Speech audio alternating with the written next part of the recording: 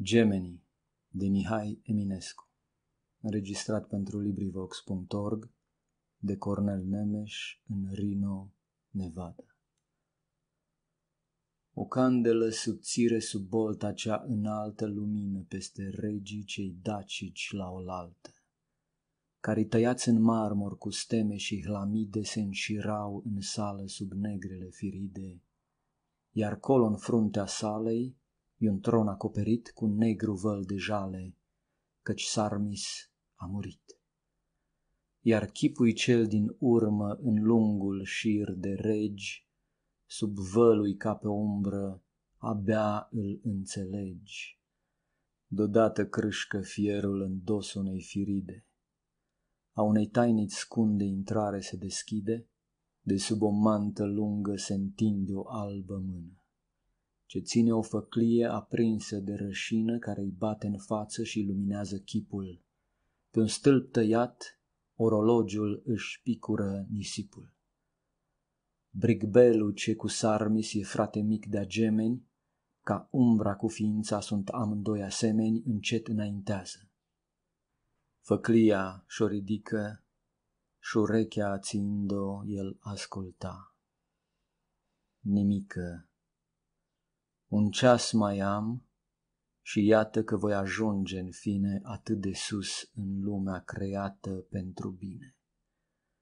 Creată pentru bine ne spun cărțile vechi, de mii de ani ne sună legenda în urechi și am văzut virtutea găsind a ei răsplată, ce nu numai de oameni, de zei e invidiată răsplată prea frumoasă, un giulgi și patru scânduri.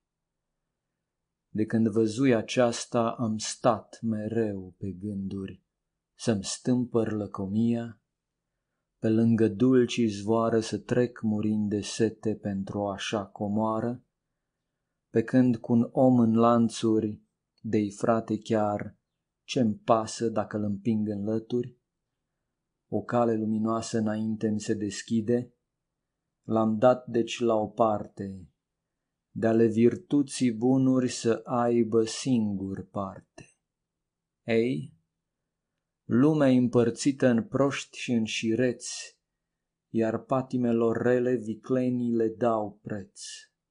Sămânța roditoare se cade ca să semeni, ca să fii domn, se cade să iei adânc pe oameni voiești ca să se închine cu toți la tale oase, atunci învie întrân și pornirea dușmănoasă, invidia și ura botează-le virtuți, numește rău pe un gâde ca fierul să-i ascuți, pe cel viclean și neted numește-l înțelept. Nebun zi celui nobil și simplu celui drept. Din patimea mulțimii fă scară la mărire și te urma cu toții în vecinică orbire cu laude mângâie deșertăciunea lor. Din roiuri risipite vei face un popor și sigur fi la rele de-a pururea urmava. Cu sânge și cenușă pământul presurava. Ferește-te de una să te păzească cerul, să nu te împing un demon a spune adevărul, a spune că nu sunt vrednici decât de adânc dispreț, că pentru o vorbă goală jertfește a lor vieți, că în tine nici îți pasă măcar de ale lor păsuri, că cu a lor micime de suflet tu îi măsuri, că lauda cu care îi încarci e o ocară, că tot ce e ca și e vrednic ca să piară. Deodată iar ascultă, se înflă a lui nări, aude glasuri multe și pași urcând pe scări. Iar ușa de la mijloc dă aripele în laturi, de intră voivozii de țări și de olaturi, în fruntea lor cu un preot bătrân. Iar moșneagul, cu laurul vecinic verde în părui alb, toiagul de aur și-l ridică.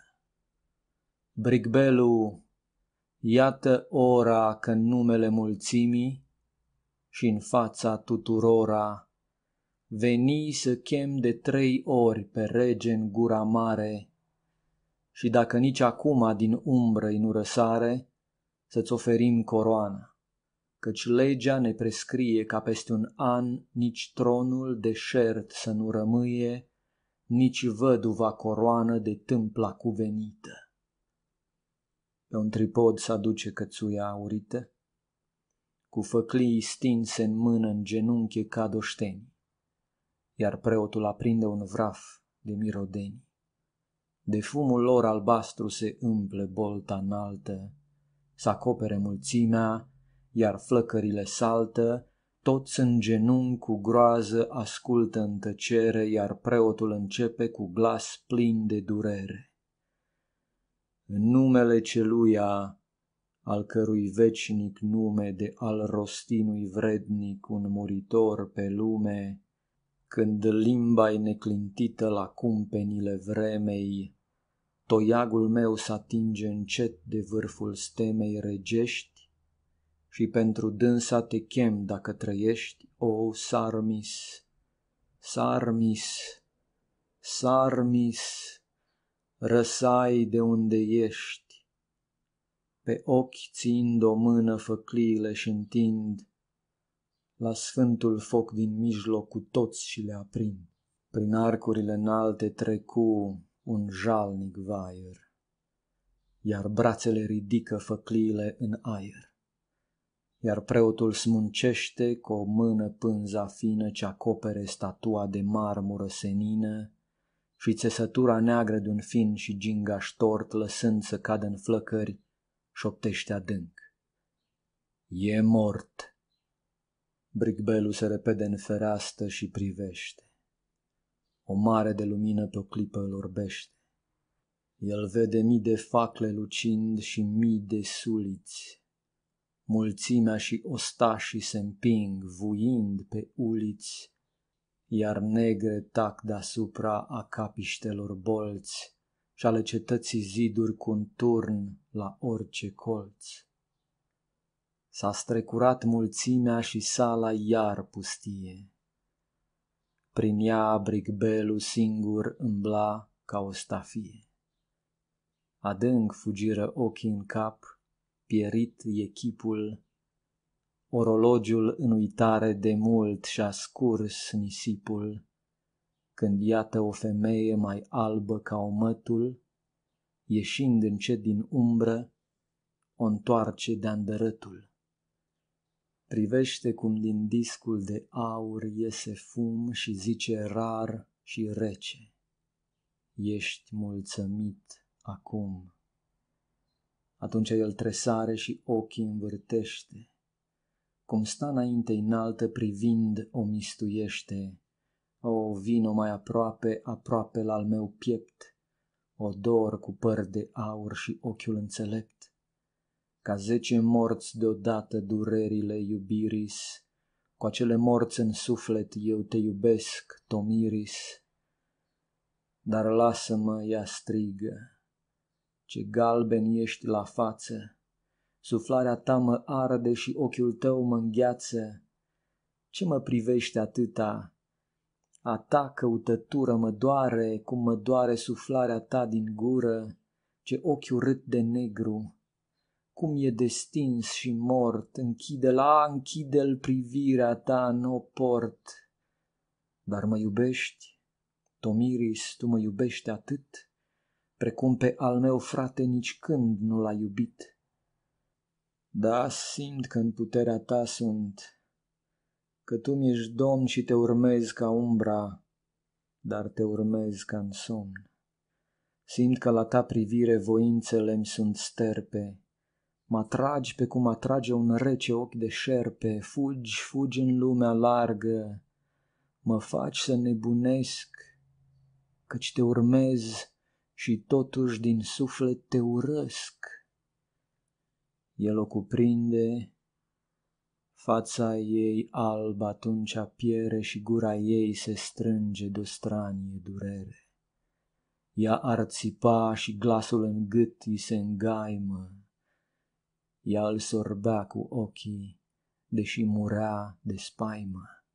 Și cum stau mână în mână, tresar, tot mai aproape se strâng și peste ochii își lasa ei pleoape. Din tainița adâncă părea că aud un vaier, deasupra ei brigbelul înălțând făclia în aer îi zise, O, iubito, din nou ți se năzare, iar ea mereu ascultă și aude îi se pare, se clatin visătorii copaci de chiparos cu ramurile negre uitându-se în jos, iar tei cu umbra lată cu flori până în pământ spre marea întunecată se scutură de vânt.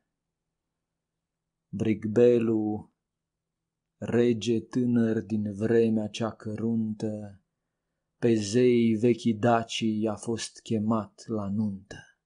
Frumos au ars în flăcări, prin osul de pe vatră, pe când intrară oaspii sub bolțile de piatră. În capul mesei șade Zamolxe, zeul getic, ce lesne urcă lumea cu umărul atletic. În dreapta lui, sub vălul de ceață mândrul soare, în stânga ișa de luna sfioasă, zâmbitoare. Din sale depărtate pătrunde zvon de armă, prin el cimpoiul scitic pornește dulcea larmă. Trezind greoiul ropo de danț, căci la un loc toți oaspeții mai tineri loveau baltage în joc, iar tinerele fete cu ei jucând avalma se învârt și se mlădie ușor sunând cu palma. La mijlocul de masă pe tronul de el cu plete lungi și negre întunecos, brigbel și răzimat de spată al zeilor fiastru privea în ochii miresei al cerului albastru. Frumoși ca două basme, izvoarele uimiris, în părul lung de aur se învălea Tomiris. Încolo voievozii, boiarii după treaptă șoptesc cu admirare în barba înțeleaptă când spune cântărețul povești din alte vremuri de regi, de-a căror fapte te miri și te cutremuri. Spunea acum din deșerturi, ce nu mai au hotară, venit au de la Nilul cu tainice izvoară, pe negrele corăbii cu mii de mii gloate, stăpânul pe Egipet cu averile lui toate. Apoi veni acela ce-au frânt pe Minotaur, Tezeu, să cate lâna cu mițele de aur. Apoi târziu în urmă veni străinul oaspe, clădind pe istru poduri Dariu al lui Staspe, un rege ce în lume nu-și găsea loc să încapă. În Dacia venise, cerșind pământ și apă, și povestea bătrânul de neamuri curgând râuri, din codrii răsărite, ieșite din pustiuri și cum pieriră toate pe rând precum veniră și cum cătând norocul, mormântul și îl găsiră. Și pe când toți ascultă, chiar regii din Firide, cu gura în pumn ghidușul se strâmbă și tot râde. Cu mutra lui de capră și trup schilot de faun, își târie piciorul ținându-se de scaun. Se clatin visătorii copaci de chiparos cu ramurile negre uitându-se în jos, iar tei cu umbra lată cu flori până în pământ spre marea întunecată se scutură de vânt. Deodată în fundul salei apare sub un arc, cu stânga răzimată de spada de monarc, nebunul Sarmis care cu craiul frate geamăn ca umbra cu ființa ei amândoi să asamăn. Dar galben e la față și ochii ard în friguri și vânătă e gura. El vine cu pași sigur și cu pumnarul scapă brigbel mâna regală din tron pe jumătate cu furie se scoală. Nebunul înalță dreapta, se uită lung la el cu mâna pe pumnarui, încremeni brigbel.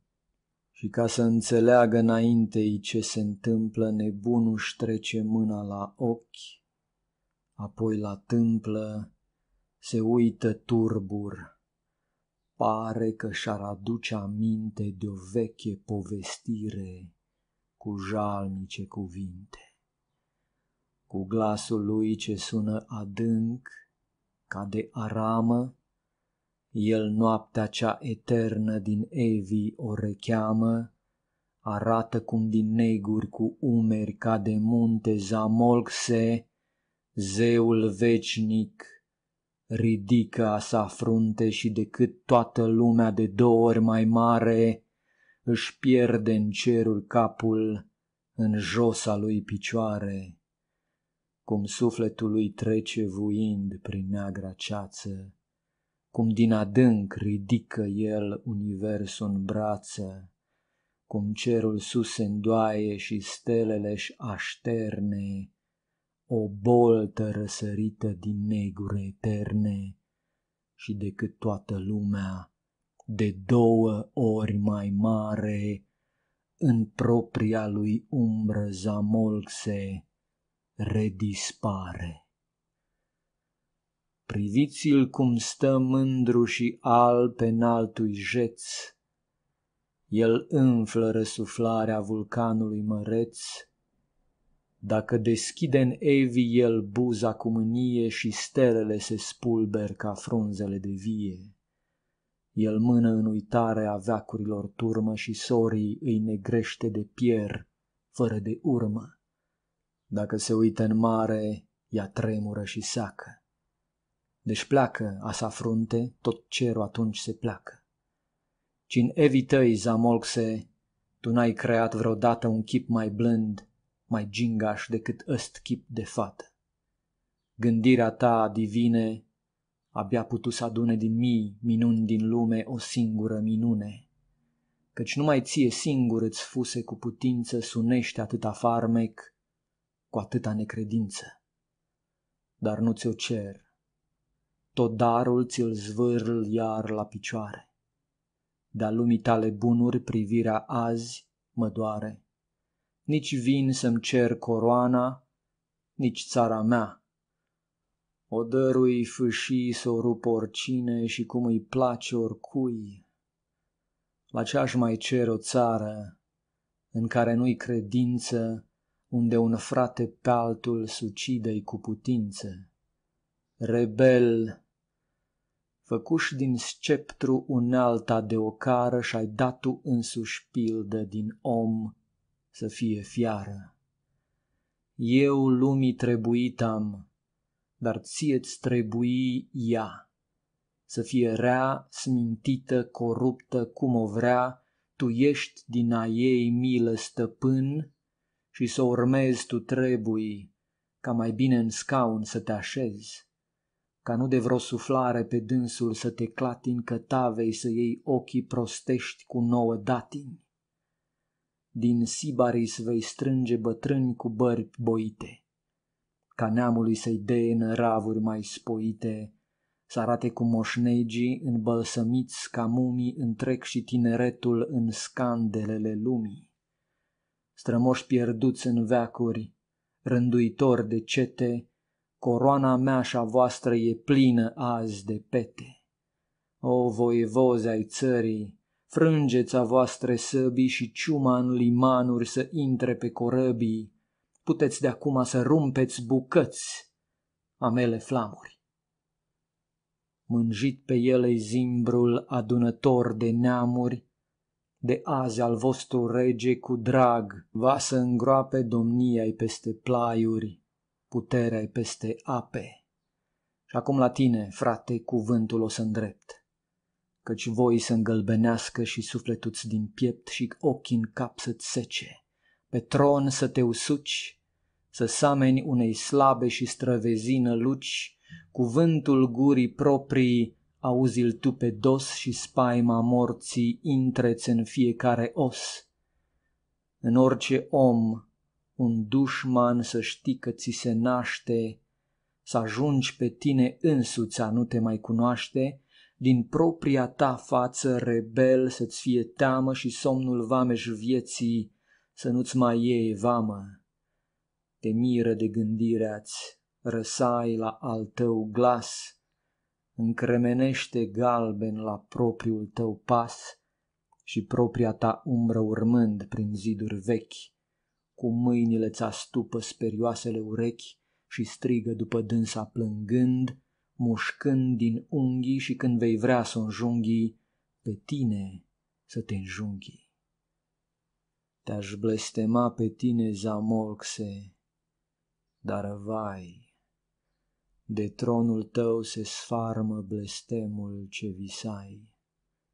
Durerile împreună a lumii uriașe te ating ca și suspinul copilului din fașe. Învață-mă dar vorba de care tu să tremuri, sămănător de stele și începător de vremuri. Tomiris, vis de aur în viața-mi să te cert, durerea-am, nebunia-am, pustiu ți le iert, e să te blestem oare, căci visul mângâios a trebuit să piară, prea, prea era frumos. Cu amor atât de făr de margini și de înalt nu se cădea să ție un om la celălalt. Prea nu aveam în lume nici sfânt, nici Dumnezeu, prea ne uitasem astfel de tot și tu și eu. Cereasca fericire nu se putea să țină, nu se cădea să o aibă o mână de țărână, în lumea de mizerii și lacrimi nu e loc pentru atâta milă și pentru atât noroc. De aceea în codrii negri mă întorc să rătăcesc. În umbra lor eternă eu umbra mistuiesc. Privesc cum peste frunze uscate fără urme alargă zimbrii negri și cerbii fug în turme, iar lângă vechi fântâne de lume date uitării privesc în iarba înaltă sirepii albi ai mării. Se clatin visătorii copaci de chiparos cu ramurile negre uitându-se în jos, iar tei cu frunză lată cu flori până în pământ, spre marea întunecată se scutură de vânt. Prin salele pustie un om în neagră haină, temându-se de pașii, se strecură în taină. Sub mantia lui lungă ascunde un pumnar. Tot îndărăt privește cu spaimă și amar el râde, se repede spre umbra umbra sare, din dreptul unor ziduri încet ea iar apare, asupra se repede și iar se dă înapoi o sarmis luptă lungă, grozavă e între noi. Ce fugi, ce fugi, nu vezi tu la luptă că te chem? Nu crede cum că tremur, nu crede că mă tem. Și atunci iar răsare și fața-i slabă piere și ochiul fix se uită cu spaimă și durere. O, inima mea lașă, de ce înlemnești în sân, sfârșește și Pumnarul îmi scap acum din mâini, dar îl voi strânge bine. Stai, stai, nebun Michel. Lovește crud odată și cade mort Brigbel. Sfârșitul poemului. Această înregistrare este în domeniul public.